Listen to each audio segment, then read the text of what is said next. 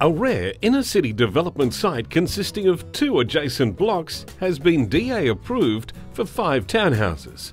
The block has two dwellings that are currently being rented out for a combined rent of $620 per week. In central Southport, with all its booming infrastructure, including new light rail, Chinatown, new aquatic centre, prep for the 2018 Commonwealth Games, shops, parks, and so much more. 8 to 10, Lydia Grove, Southport.